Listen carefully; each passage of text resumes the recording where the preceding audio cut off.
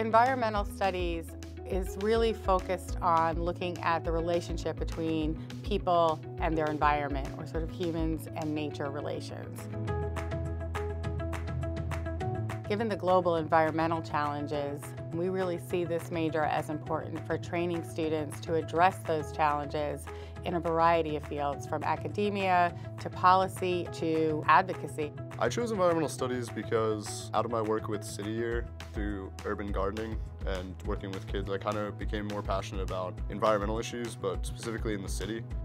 You can understand the world in a better way than you ever would in any other major. Most of our classes are small.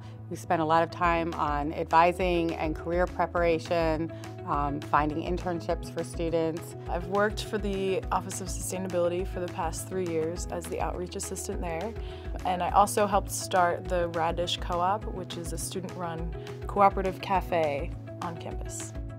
There's nothing like Radish in Philadelphia at any other university. All of our food is sourced locally and seasonally. The idea for Radish Co-op was completely student driven. They found me and then they, they took off. Our students are really passionate about making a difference in the world. They want to you know, make the world a better place, but they also want to get a job and a meaningful job that helps them to do that. And our students do that. We provide the skills and training necessary.